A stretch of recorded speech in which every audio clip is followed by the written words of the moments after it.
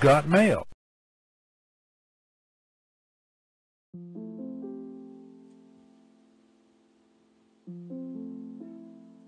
Today's Daily Mail Call comes from the second epistle of Paul the Apostle to the Thessalonians, chapter 2, from verses 13 through 17, entitled, Called to the Obtaining of Christ's Glory.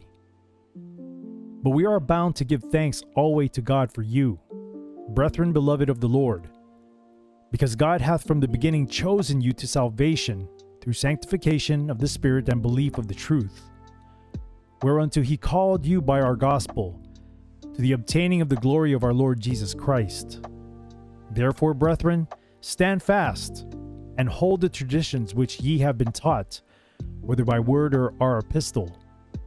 Now, our Lord Jesus Christ Himself and God, even our Father, which hath loved us and hath given us everlasting consolation and good hope through grace, comfort your hearts and establish you in every good word and work.